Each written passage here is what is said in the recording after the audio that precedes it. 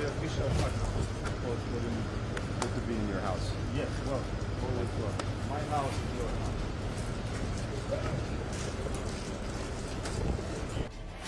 I'm here first and foremost to demonstrate our ongoing and determined support for Ukraine as it deals with this aggression.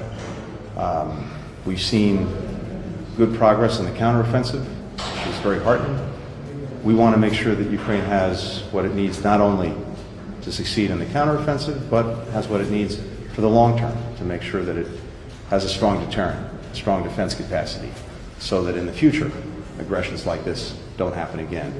And we're also determined to continue to work with our partners as they build and rebuild a strong economy, a strong democracy, all of which is necessary to ensure that Ukraine not only survives, but it thrives in, in the future.